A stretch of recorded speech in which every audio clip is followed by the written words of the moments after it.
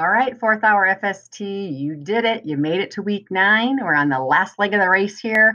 Uh, you got this. You can do it. I know you're starting to lose steam. Um, I am too on some of these days, but I'm just kind of sticking with it because we're almost there. Um, we have two days left of this course. Uh, if you are still behind on some of your work, don't worry. Just put some energy into it. Get this stuff done. Uh, let's take a quick look at the plan uh, for what you have here.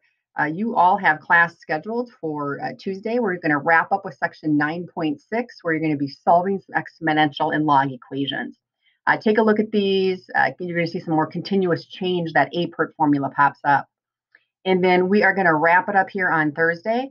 Uh, you're going to have uh, a little review multiple choice to try and then a blue puzzle piece. So get out your notes, get out your work just for sections 9.4 to 9.6.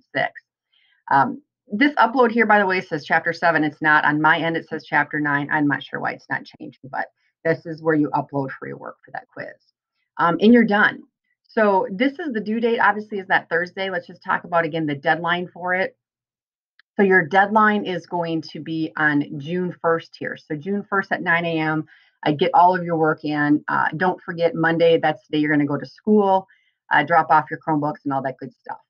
Um, it's been an interesting fourth quarter. You all, like I've always said in our videos and our updates, you're just really owning this. And I'm so proud of each and every one of you. Um, it's too bad we couldn't have wrapped up the year in person. Uh, you guys are a great class with a great personality, always kind of fun to, to hang out with and to help and to teach. Um, best of luck to all of you. Let me know if you have questions on any of this. I have been having more students set up some Zooms more than happy to do that to help you out with some of these uh, more challenging questions. Um, so keep it up. You got this. Have a great summer, and I'm going to see you in the hallways uh, next year. If you're not a senior, if you are a senior, uh, you know who you are. Best of luck, uh, and have a good one.